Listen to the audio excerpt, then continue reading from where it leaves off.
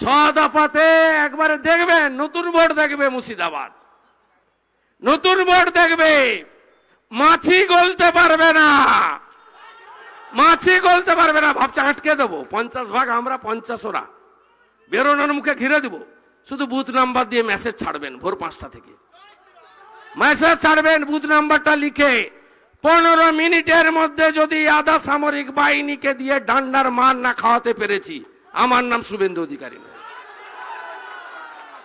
vote লুট করা আর গণতান্ত্রিক অধিকার আটকাতে আমরা ছ দফাতে দিইনি, সাত দফাও হবে না, আট দফাও হবে না, এবারে বাংলায় প্রকৃত গণতন্ত্রের নির্বাচন হবে